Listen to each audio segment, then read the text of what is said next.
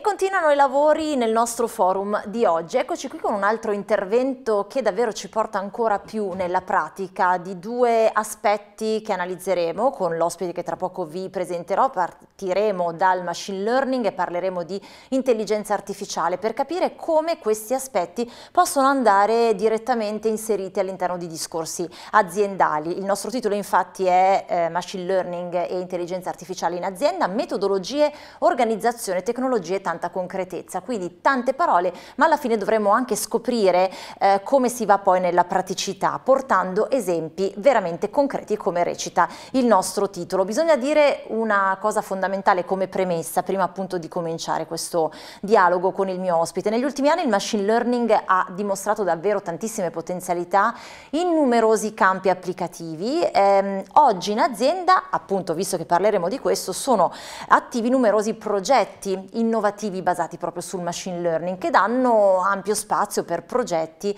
che ovviamente eh, ci portano proprio nel discorso delle nuove tecnologie e dell'innovazione in quanto tale, parole che abbiamo utilizzato tantissimo soprattutto nell'ultimo periodo. Dobbiamo capire come questi progetti possano portare dei vantaggi, di fatto lo fanno, ma insomma cercheremo di spiegarvelo e un, um, dobbiamo sfatare anche un po' un mito, un falso mito che sta alla base del machine learning. Il machine learning non può prescindere da due fattori, come spesso erroneamente si pensa, ossia le persone e il business, anzi sono tutti aspetti dello stesso discorso.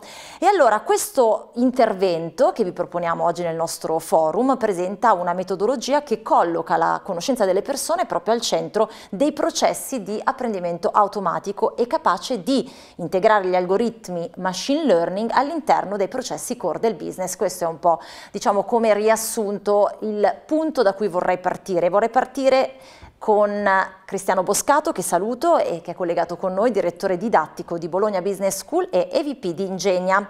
Cristiano, buongiorno, benvenuto buongiorno, con noi. Buongiorno a tutti, buongiorno. Allora, eh, ci sarebbero tante cose da dire, ma cercheremo di farlo perché dovremo insomma, analizzare un po' a che punto siamo anche rispetto a questi argomenti. Peraltro lei insegna proprio, giusto, machine learning e intelligenza artificiale? Esatto, okay. alla Bologna Business School insegno la, la materia, quindi okay. legata più al business più che alla parte tecnologica. Perfetto, sa perché glielo ho chiesto conferma? Perché è importante anche spiegare questi temi in modo molto semplice, quindi visto che lei li insegna, insomma, eh, a chi... Ci proviamo. Esatto, ci proviamo, ci proviamo vedrà che ce la faremo. Allora, partiamo proprio da, dalle applicazioni del machine learning ehm, eh, applicate, appunto applicazioni relative al business, come lei diceva che è anche l'ambito del suo insegnamento, come qualcosa di assolutamente innovativo, quasi mi verrebbe dire disruptive. Eh, questo può creare sicuramente delle confusioni sui reali vantaggi che il machine learning può portare alle aziende. Eh, qual è il modo migliore per approcciarsi a questo discorso, visto che stavamo dicendo insomma la comunicazione deve essere quanto più semplice, quindi per integrare il il metodo che serve per integrare in modo efficace il machine learning a tutti quelli che sono i processi di business. Partiamo da qui.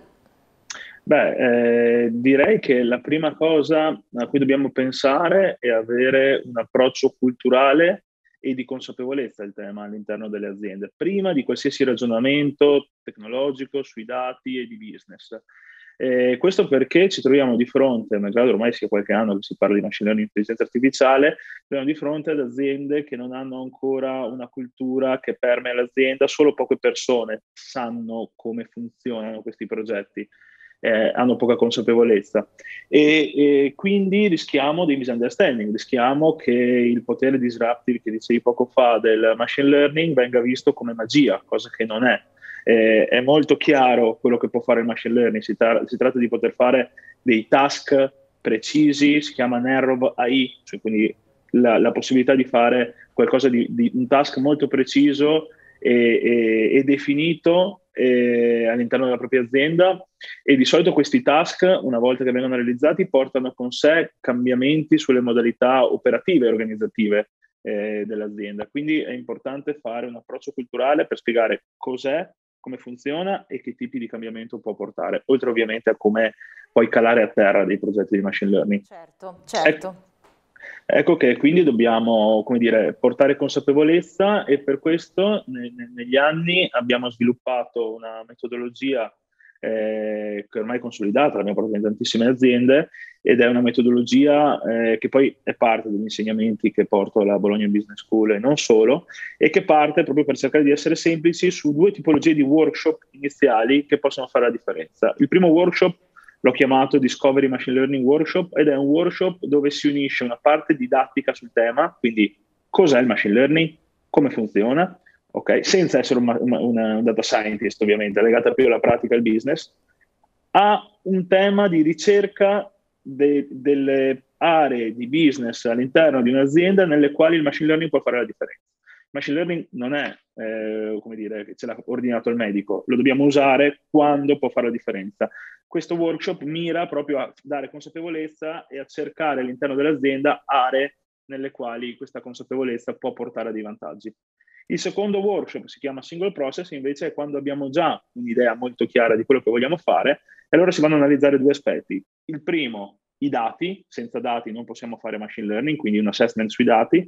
Il secondo, di nuovo, un assessment sul business. Ci chiediamo veramente se si può o meno, se ha senso o meno, scusate, lavorare su quel progetto, se i KPI sono eh, positivi e se la macchina organizzativa azienda può supportare e sopportare un progetto di questo tipo. Okay. Fatto queste attività, poi possiamo passare al progetto vero e proprio, ma arriva dopo. Ok, arriva dopo. Queste sono tutte le premesse però indispensabili, insomma, mi sembra di esatto. capire come ha specificato lei.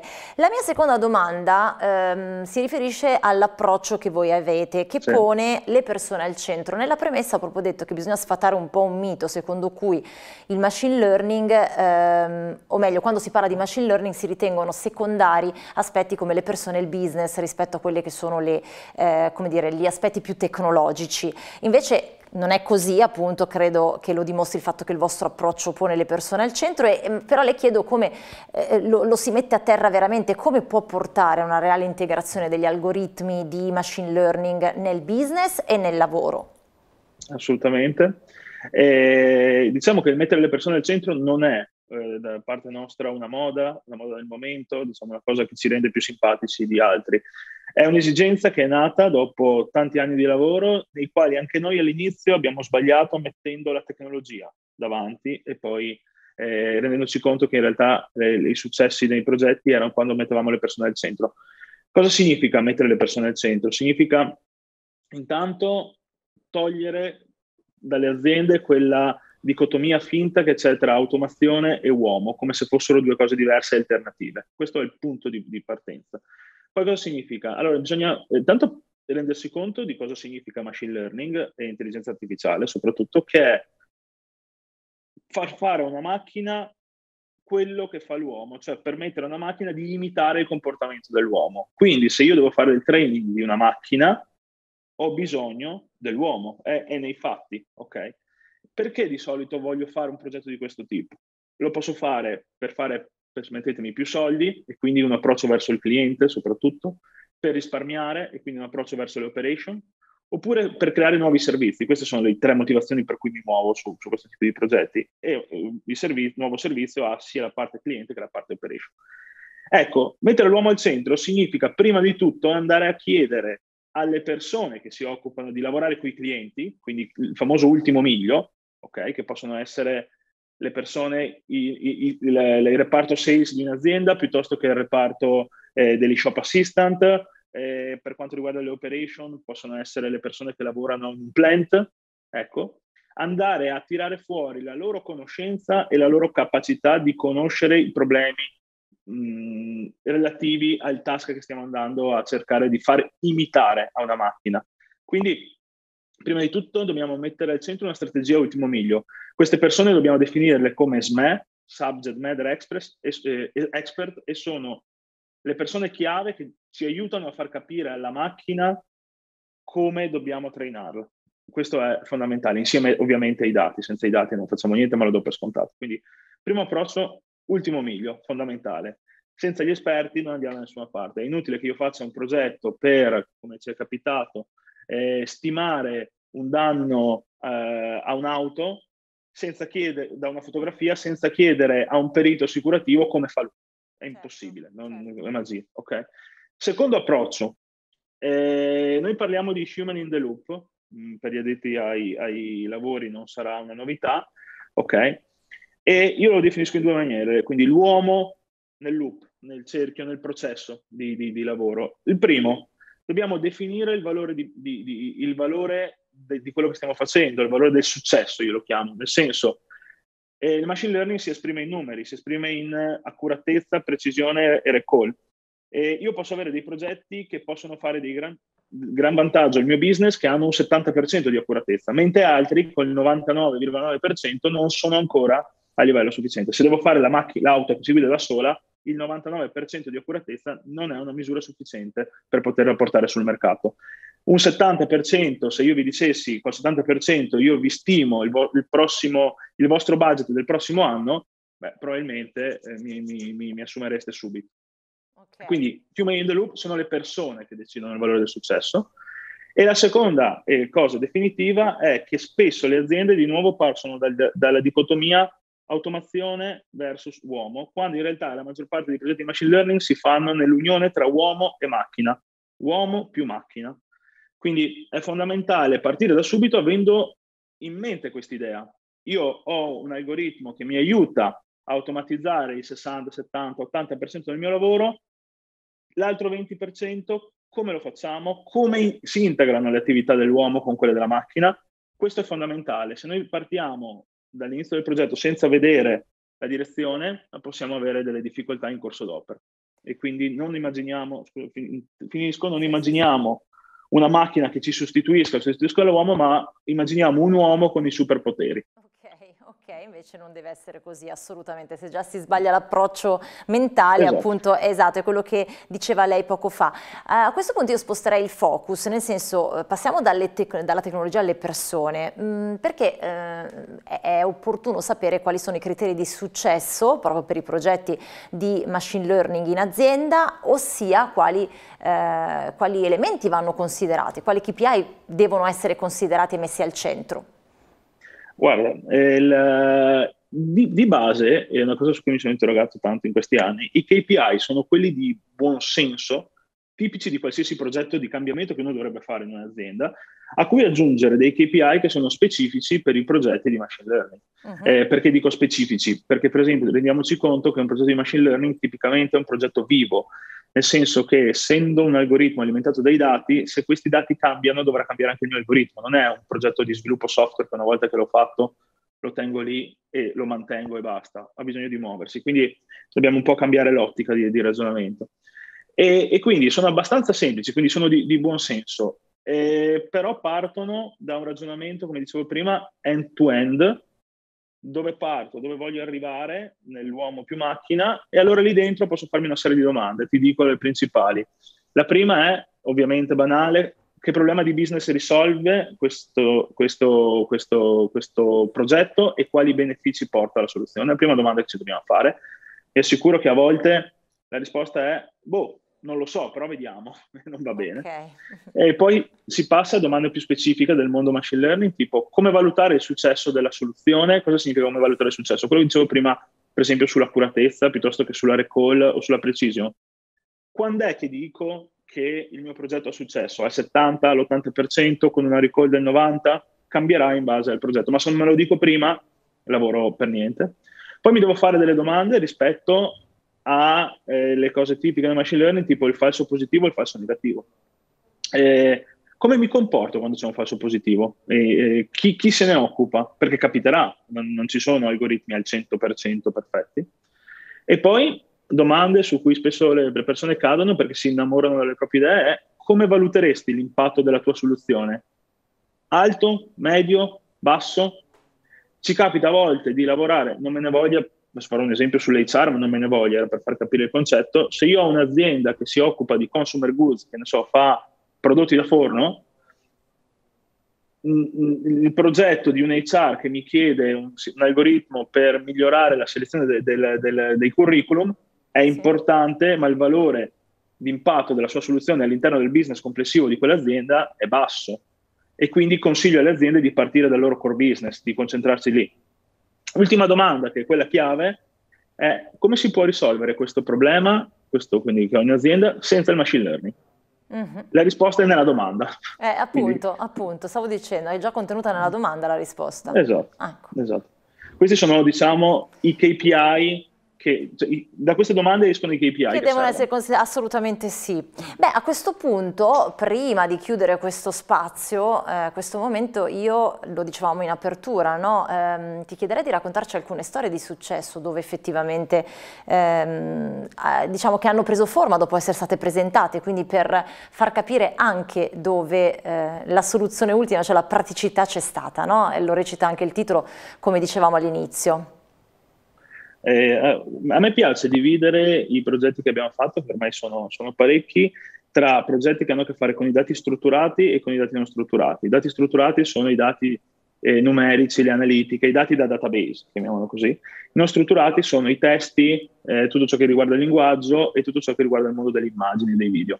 Magari racconto un caso per, un, per uno per dare un'idea sì. di fondo. Allora, partiamo dal, dal linguaggio. Noi abbiamo fatto, stiamo portando avanti un progetto molto importante con Saipem eh, relativo al, alla loro documentazione tecnica. Eh, Saipem ovviamente è un'azienda enorme, molto strutturata, che ha milioni di documenti tecnici multilingua per la parte soprattutto di manutenzione delle piattaforme petrolifere, degli oleodotti, eccetera, dei gasdotti, e eh, avevano il problema di eh, trovare la giusta documentazione nel momento in cui dovevano fare un intervento. Abbiamo eh, inserito quindi una sorta di motore di ricerca eh, cognitivo, quindi che supera eh, l'approccio semantico, il quale risponde a linguaggio naturale, quindi alla domanda come posso fare questa cosa, eh, il sistema entra in questi milioni di documenti e ne estrae il pezzettino con la risposta. Un po' quello che accade a casa nostra con il, l'Amazon Echo, il Google Home con gli assistenti virtuali. Quindi stiamo passando da un motore di ricerca cognitivo a un assistente virtuale. Eh, questo porta, a proposito di KPI, un vantaggio enorme perché passiamo da eh, una consultazione media di circa mezz'ora di un documento, e stiamo parlando di migliaia di, di persone che si occupano di questa, di questa, documentazione, a un utilizzo di tre minuti, quindi un risparmio enorme eh, per, per l'azienda. Secondo progetto di cui mh, mm, magari mi fa piacere parlare è quello per cui quest'anno, nel 2020, scusate, abbiamo vinto il Digital Award eh, come miglior progetto di machine learning più innovativo ed è un progetto dati fatto con ERA relativo alla clorazione dell'acqua. In breve, eh, ERA ha eh, migliaia di impianti per la distribuzione dell'acqua che va, parte da monte e scende a valle ed entra nelle nostre case per rubinetto. Ecco, in questo percorso ci sono migliaia di sensori che ne misurano la solubilità. Eh, ERA aveva un problema legato ai eh, falsi, falsi, allarmi. eh, spesso e volentieri le squadre, per fortuna sul territorio, andavano a controllare perché questi, questi sensori davano dei falsi allarmi legati alla presenza di cloro eh, in, in uh, modalità eccessiva. Bene, eh, con un sistema di machine learning abbiamo eh, non solo eh, diminuito dell'85% i falsi eh, allarmi, ma abbiamo anche potuto anticipare di una finestra di circa 20 minuti i veri allarmi. Uh-huh. Un, e, e, la cosa interessante di questo progetto è che abbiamo utilizzato delle tecniche miste con degli algoritmi convoluzionali che sono tipici del mondo del, dell'image recognition. Noi li abbiamo utilizzati nella parte dati con dei risultati importanti e notevoli, quindi questo per quanto riguarda la parte dati. Terzo progetto, sì. ma è, ma è un progetto che ha un po' di, di, di tempo, ma mi piace ricordare, è quello eh, di Enel per la manutenzione eh, del, delle linee elettriche. Sostanzialmente è un progetto che riguarda le immagini perché Enel eh, fa volare degli elicotteri che fanno le foto nelle loro, nella loro linea elettrica. Tenete presente che sono in Italia, sono 200.000 km di rete elettrica e Enel scatta più di 100.000 foto al giorno.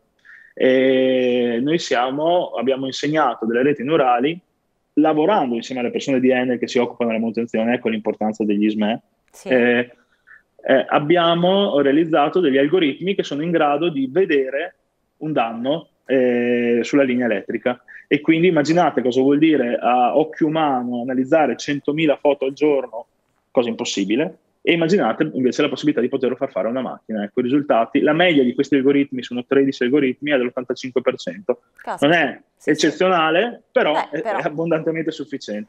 Certo. E chiudo con un sì. progetto più piccolo. Poi dobbiamo chiudere, sì, prego. Perfetto.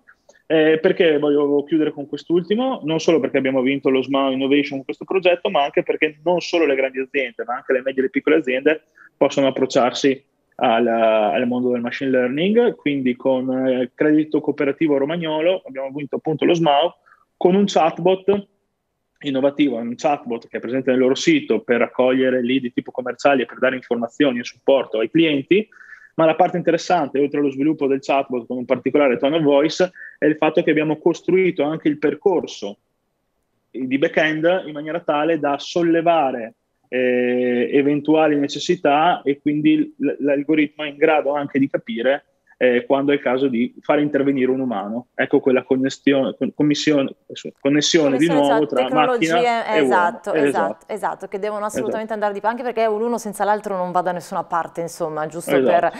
per, ricordarlo alla fine. Però continua a essere un po' un falso mito e c'è un po' paura no? della sostituzione esatto. della parte umana non quando... Credo. Eh no, ma infatti anche perché per, cioè, per, per avviare la tecnologia servono gli umani, quindi probabilmente serviranno altre competenze, ma questo è un altro, esatto. è un altro altro, è un altro ragionamento e mm, ci sarà modo di parlarne. Grazie Cristiano Boscato, direttore didattico di Bologna Business School e EVP di Ingenia per averci raccontato non solo la parte teorica ma anche e soprattutto quella pratica. Grazie mille per essere stato con noi. Grazie. Grazie. Grazie. E noi naturalmente continuiamo con i nostri lavori del forum.